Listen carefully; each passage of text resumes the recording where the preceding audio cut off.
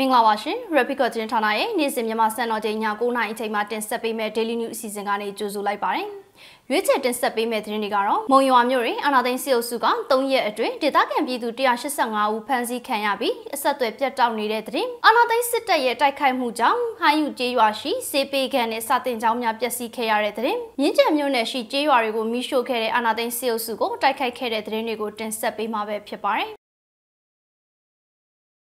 ထမဆုံးသတင်းတစ်ပုဒ်အနေနဲ့မုံရွာမြို့တွင်အာနာသိန်းစစ်တပ်က3ရက်အတွင်းဒေသခံပြည်သူ185ဦးဖမ်းဆီးခံရပြီးအဆက်အသွယ်ပြတ်တောက်နေတဲ့သတင်းကိုတင်ဆက်ပေးမှာပဲဖြစ်ပါတယ်။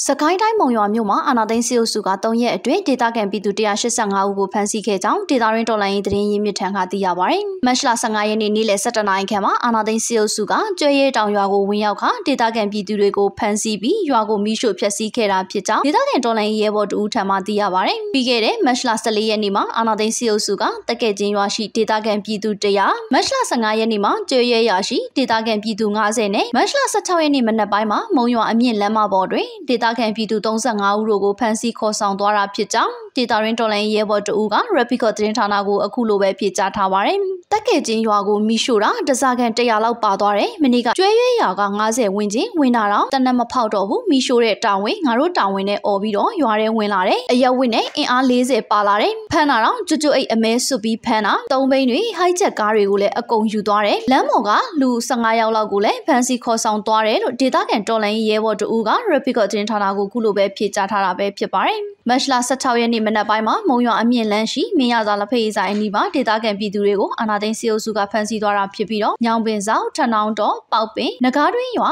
စတဲ့ကြေးရွာတွေမှာဒေသခံတွေဖြစ်တယ်လို့လည်းသိရပါတယ်ဆက်လက်ပြီးအာနာသိန်းစစ်တပ်ရဲ့တိုက်ခိုက်မှုကြောင့်ဟိုင်းယူကျေးရွာရှိစေပေကန်နဲ့စာတင်ကျောင်းများပျက်စီးခဲ့ရတဲ့တဲ့ရင်ကိုတင်ဆက်ပေးမှာပဲဖြစ်ပါတယ်။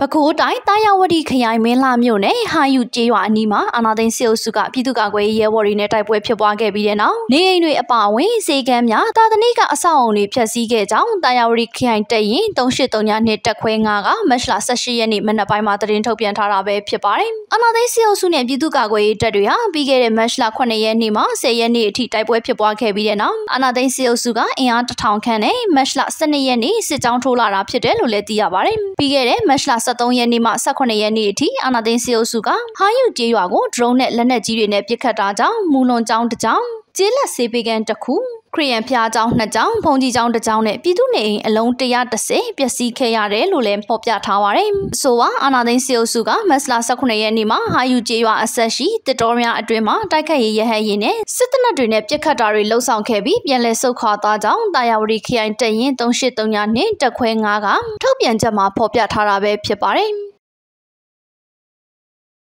နောက်ဆုံးသတင်းတစ်ပုဒ်အနေနဲ့မြင်းကျက်မြို့နယ်ရှိကျေးရွာတွေကိုမိရှို့ခဲ့တဲ့အာနာသိန်းစစ်အုပ်စုကိုတိုက်ခိုက်ခဲ့တဲ့သတင်းကိုတင်ဆက်ပေးမှာပဲဖြစ်ပါတယ်။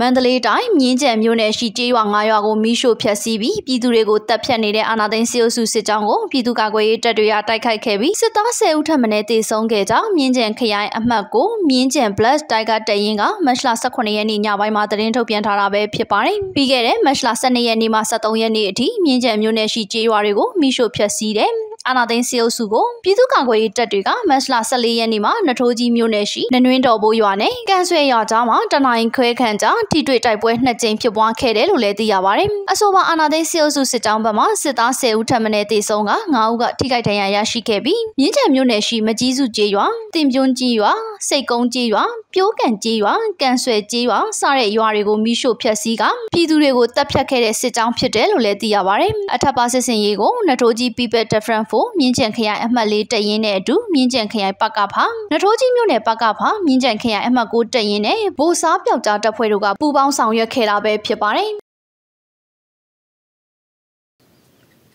မင်္ဂလာပါရှင်။ တက်မတော်သားများအနေနဲ့အာနာသိန်းစစ်တပ်ထံမှတာဝန်ထမ်းဆောင်လို့တော့ပဲပြည်သူရင်ဝင်ကိုခိုးလုံးလိုပါကကျမတို့ရဲ့မမေ့ရင်ခွင် Mother Embrace Foundation ကနေကြိုဆိုပါရရှင်။ကျမတို့ဖွဲ့အနေနဲ့ပြည်သူ့ဘက်ကိုခိုးလုံလာတဲ့တက်မတော်သားတိုင်းကိုအနေဆုံးအသက်ရှင်သန်ခွင့်အတွက်အာမခံချက်ပေးပါရရှင်။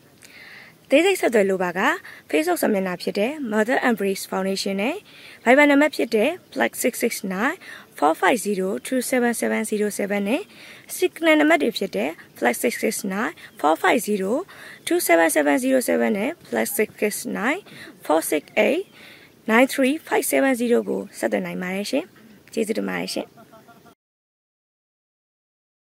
ခုတင်ဆက်ပေးခဲ့တဲ့ Rapid သတင်းဌာနရဲ့ Daily News အစီအစဉ်ကိုတနင်္လာနေ့မှစနေနေ့အထိမြန်မာစံတော်ချိန်ည9:00နာရီချိန်မှာတင်ဆက်ပေးသွားမှာဖြစ်လို့စောင့်မျှော်ကြည့်ရှုနိုင်ပါတယ်ကျွန်မကတော့မြင့်မို့ဝေပါ